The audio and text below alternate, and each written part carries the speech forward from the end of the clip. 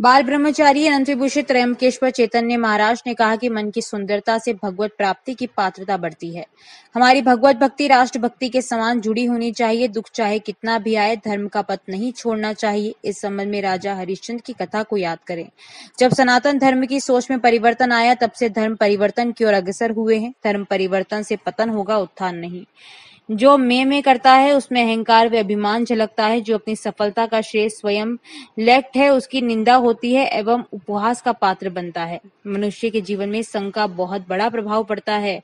संत श्री गुरुवार को हरिशेवा उदासीन सनातन मंदिर में चातुर्मास प्रवचन के तहत श्रद्धालु समुदाय को संबोधित कर रहे थे। उन्होंने कहा कि तीर्थ में मलिन शरीर से मलिन वस्त्रों से नहीं नहाना चाहिए। कथा के प्रारंभ में गायत्री आचार्य ने भजन पेश कर श्रद्धालुओं को भाव विभोर कर दिया।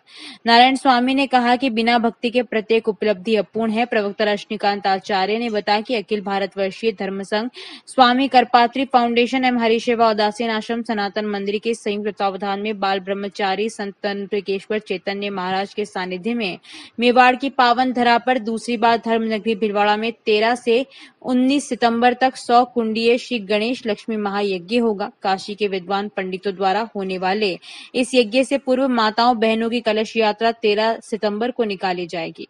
कलश यात्रा भी यज्ञ में आमंत्रण देने के लिए पीले चावल देने की परंपरा निभाई जा रही है। पेज के बालाजी मंदिर से निकलने वाली ये कलश यात्रा गोलपियाऊ सरकारी दरवाज़ा बाज़ार नंबर तीन, आर्य समाज रोड, हरिबाई कचोरी मार्ग, तोतला भवन, वीर सावरकर चौक होते हुए हरिशेवा धाम पहुंचेगी।